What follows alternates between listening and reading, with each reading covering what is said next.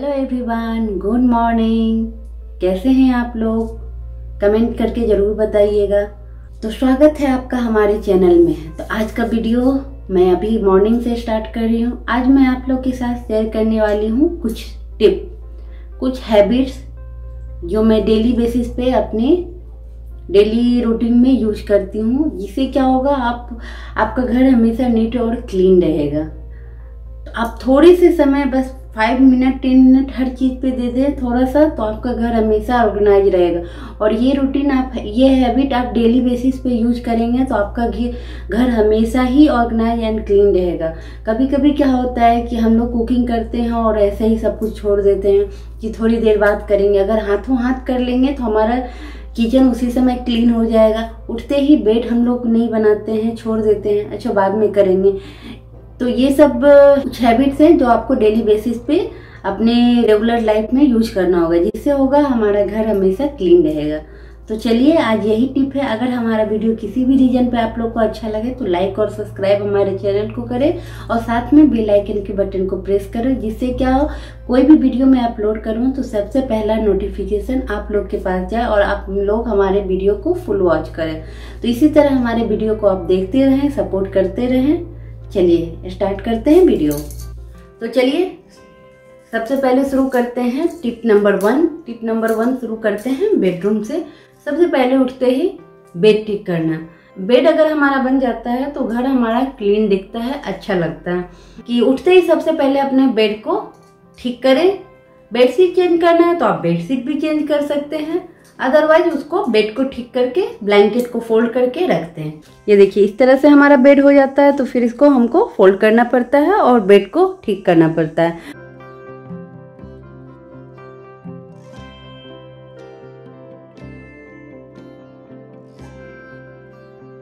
ये देखिए, ये हमारा बेड तैयार हो गया है। यहाँ पे आप जैसा देख रहे हैं कि बच्चे जाने के बाद हमारा घर कैसा अस्त व्यस्त हो जाता है एकदम। तो हमारा अभी किचन पूरा मिसी मिसी लग रहा है। तो कुकिंग करने से पहले फाइव मिनट अपने किचन को दें और सारे चीज़ को अरेंज कर दें। क्योंकि सुबह सुबह क्या होता है, जब बच्चे जाते हैं तो हम इतनी जल्दी जल्दी में रहते हैं कि सब सामान हमारा इधर से उधर चला जाता है। तो सबसे पहले हम लोग इसको क्लीन करेंगे, उसके बाद ही कुकिंग स्टार्ट करें। तो ये हैबिट आप डेली रूटीन में ज़रूर करें कि पहले सारी चीज़ को अरेंज कर लें। तो पहले चलते हैं, पहले काउंटर टॉप को हम अरेंज करते हैं पूरा, जिससे क्या होगा, हमारा काउंटर टॉप थोड़ा दिखने में अच्छा लगेगा, थोड़ा मेसी मेसी ना लगेगा। तो चलिए पहले अरेंज करते हैं। तो अरेंज करने से पहले पूरा लाइट पहले ऑन कर लिया जाए। तो चलिए सबसे पहले अपने किचन के काउंटर टॉप को हमेशा ही खाली रखें क्लीन रखें, जिससे वो क्या होगा कुकिंग करने में आसानी होगा और हमारा काउंटर टॉप बहुत ही दिखने में सुंदर लगेगा। तो सबसे पहले हम काउंटर टॉप को अरेंज करते हैं।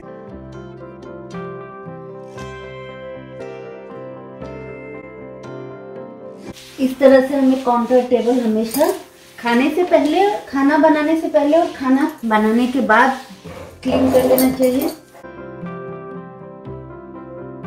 और काउंटर टेबल पे कोई भी चीज़ ऑर्गेनाइज करके रखें तो इस टाइप के बास्केट में रखें। कोई भी कलर का बास्केट आप यूज़ कर सकते हैं, लेकिन इस तरह से बास्केट में रखेंगे तो इससे क्या होगा? क्लीन करने में आसानी होगा। इसको जस्ट उठा के आप क्लीन कर सकते हैं। नहीं तो इधर उधर सामान रहेगा तो फिर एक एक करके आपको हटाना पड़ेगा।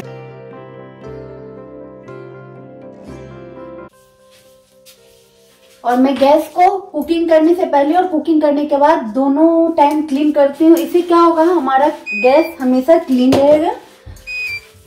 तो साथ साथ ही साइड में जो हमारा काउंटर टॉप है, वो भी क्लीन हो जाएगा और हमारा गैस भी क्लीन हो जाएगा। तो ये हैबिट आप रेगुलर बना के रखें कि रात में कुकिंग करने के से कुकिंग करने के बाद क्लीन कर लें। और सुबह में कुकिंग करने से पहले और कुकिंग करने के बाद जैसे सुबह में कुछ नाश्ता, चाय बना वो आपका गिरा तो वो आराम से क्लीन कर ले उसके बाद कुकिंग करने के बाद भी क्लीन कर लेंगे। इससे क्या होगा, आपका ये वाला एरिया एकदम क्लीन रहेगा। फिर हमें लगे हाथों इसको भी क्लीन करने, कर लेना चाहिए। क्योंकि जब हम रोटी बनाते हैं तो हमारे ये वाला सेक्शन में ऊपर से कुछ कुछ गंदा नीचे गिरता है सब्ज़ी वब्जी बनाने में। ये वाले एरिया में भी जब कटिंग चॉपिंग करते हैं तो कुछ कुछ गिरते रहता है। और इस वाले एरिया में हमारा जब बर्तन वाश करते हैं तो पानी गिरता है। तो ये वाले एरिया को भी हमें क्लीन करते रहना चाहिए। लगे हाथों डेली का डेली वाइप कर देंगे, इससे क्या होगा? मॉर्निंग और इवनिंग करने से क्या होगा? ये वाला एरिया हमारा हमेशा क्लीन रहेगा। तो ये डेली रूटीन में, डेली हैबिट में इसको रखें आप। इससे क्या होगा? आपका किचन हमेशा ही सही सलामत रहेगा और ज़्यादा दिन तक आपका किचन चल सकेगा। लाइक मैं इसे डेली हैबिट में रखती हूँ, मॉर्निंग में, इवनिंग में। जब भी आप कुकिंग करें, उसके बाद इसको इसके सेल्फ को ज़रूर वाइट कर दे एक बार।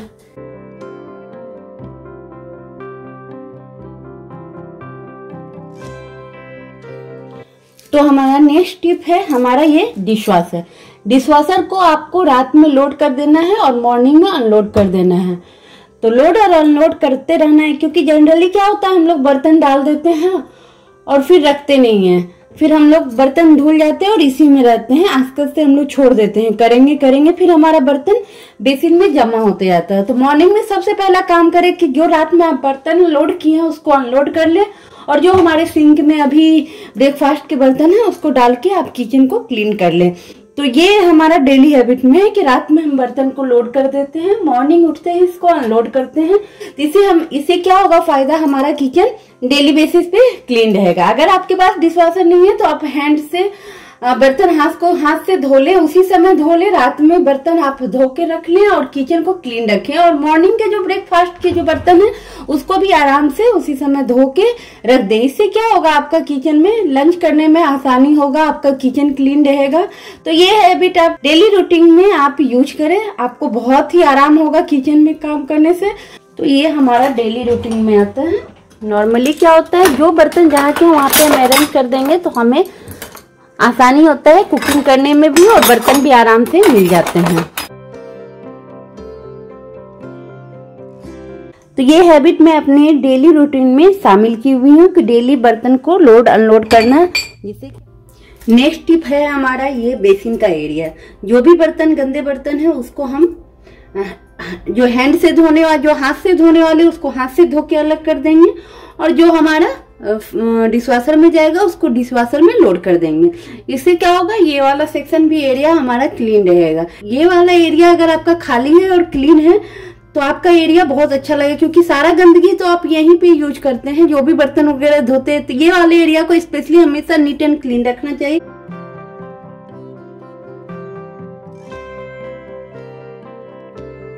तो जो बर्तन डिशवाशर में जाने वाले थे, उसको मैंने रख दिया, और जो हाथ से धोने वाले हैं, उसको धो के अलग कर लेते हैं। उसके बाद हमारा बेसिन क्लीन हो जाएगा। इसको भी आप नॉर्मली यूज़ करते रहें, ऐसे ही क्लीन करेंगे तो आपका बेसिन वाला एरिया भी क्लीन रहेगा।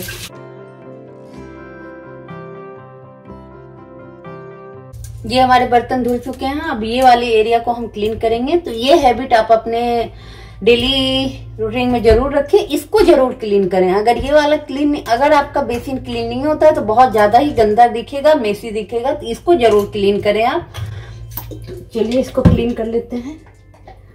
तो मैं इसे हमेशा वाइप करती रहती हूँ, हमेशा क्लीन करती रहती हूँ, ताकि हमारा ये बेसिन हमेशा चमकता रहे।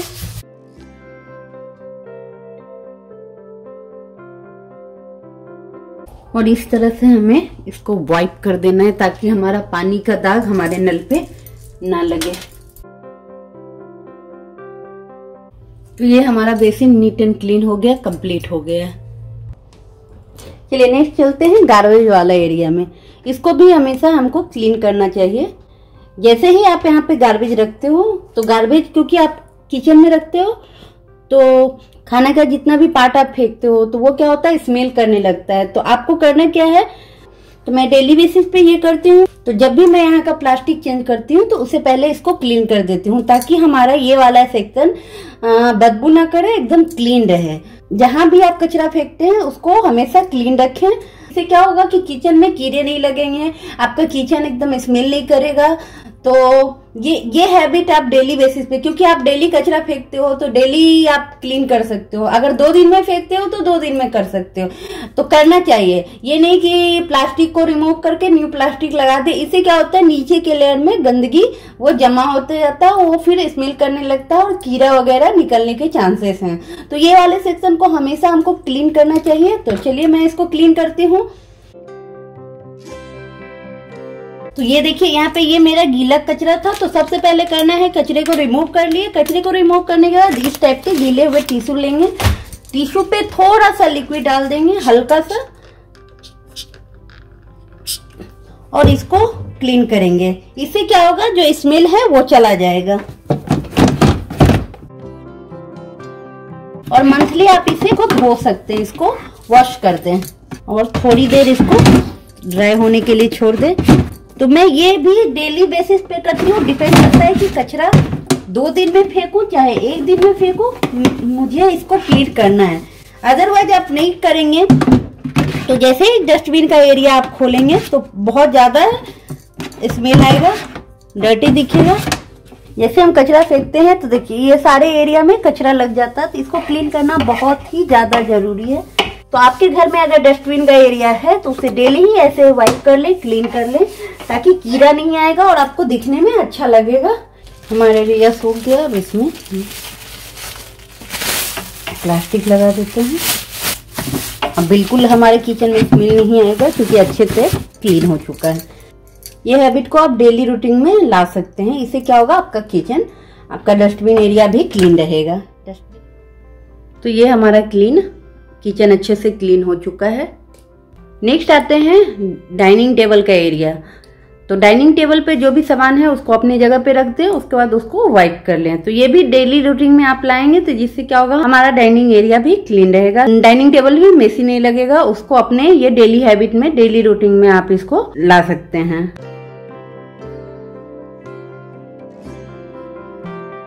अब इस तरह से आप अपने डाइनिंग टेबल को क्लीन कर सकते हैं। तो मैं ये डेली करती हूँ, रात में भी करती हूँ, सुबह ब्रेकफास्ट के बाद भी करती हूँ लंच के बाद भी करती हूँ, जिससे कि हमारा ये वाला एरिया अच्छा दिखे। और ये सोफा के आगे वाले टेबल को भी हम एक बार रात में, एक बार दिन में क्लीन कर लेते हैं, ताकि हमारा ये टेबल गंदा ना दिखे। इसको भी हम डेली रूटीन में लाते हैं, क्योंकि हम लोग यहाँ पे जब भी आते हैं, चाय पीते हैं, कोई सामान रखते हैं तो वो गंदगी हो जाता है तो इसको हम डेली हैबिट में ही लाते हैं। एक टिप है हमारा, जैसे आप कटिंग कर रहे हो तो कटिंग करके आप प्लेटफॉर्म पे ना फेंकें। एक बकेट ले लें, कोई प्लास्टिक का या फिर ये इस टाइप से खरीद लें, जिसमें आप वेट पार्ट जैसे आप ये इसको इसमें फेंके, ताकि आपका काउंटर भी गंदा ना हो और नीचे का एरिया भी गंदा ना हो। इससे क्या होगा कि कुकिंग करते समय भी आपका किचन पूरी तरह से क्लीन रहेगा। तो ये भी आप डेली यूज़ में ऐसे याद करके ये हैबिट को अप्लाई करें तो जिससे आपका ही काम आसान होगा। मेरा नेक्स्ट टिप है, जैसे आप कुकिंग कर रहे हो कुकिंग करते समय आप ये चम्मच से आप इस सब्ज़ी को मिक्स करते हो, उसके बाद इसको रखने के लिए जगह चाहिए। आप इधर उधर रखोगे तो आपके काउंटर गंदे हो जाएँगे। इसीलिए हमें एक प्लेट लेना चाहिए, हमेशा याद करके, और उस पर ये जो भी चम्मच आप कुकिंग करने वक्त यूज़ कर रहे हो, उसको रखना चाहिए। इससे क्या होगा, हमारा ये वाला एरिया गंदा नहीं होगा। जैसे ही हमारा कुकिंग हो रहा है, थोड़ा सा भी हो तो ये वाले कॉर्नर को बस पोसते जाए, ऐसे ताकि हमारा क्लीन रहे। टिप है हमारा, अपने मेकअप एरिया को हमेशा अरेंज रखें, ताकि आप मेकअप करने जब भी जाएँ तो आपको सारा सामान आसानी से मिल सके। तो हमेशा जब भी मेकअप करने आए, उसके बाद अपने सारे सामान को अरेंज करके रख दें, जिससे आपको आसानी होगा और आपका घर बहुत ही ज़्यादा क्लीन लगेगा मेसी नहीं लगेगा। तो मैं हमेशा ऐसे ही करती हूँ तो आप लोग भी अगर करें तो आपका घर हमेशा ही जितना ही आप मेकअप पे फाइव मिनट देते हो, दो मिनट आप मेकअप सारे सामान को अरेंज करके रख दो। जहाँ से लिए वहाँ पे रख दो। तो आपका क्या होगा? इससे घर आपका आराम से क्लीन रहेगा। तो मैं ये हमेशा करती हूँ। मुझे बहुत ज़्यादा हेल्प मिलता है घर। इससे घर मेरा क्लीन रहता है और जो चीज़ चाहे तो आसानी से हमारा मिल जाता है। नेक्स्ट टिप है हमारा बेसिन को। बेसिन को आप हमेशा क्लीन रखें। अगर आप क्लीन नहीं रखेंगे तो जितना भी पानी का धब्बा है, इस पे लग के आपका ये ब्लैक होते जाएगा। इसमें पूरा गंदगी, कल्ट जमा होगा, फिर ये साइड आपका ग्रीन होते जाएगा। तो फिर आपका बेसिन बहुत ही गंदा दिखेगा। इसका टिप है कि आप जैसे ही बेसिन का यूज़ करते हैं, उसको क्लीन करें। तो जैसे मैं एवरी मॉर्निंग लिक्विड डाल के थोड़ा सा क्लीन कर देती हूँ।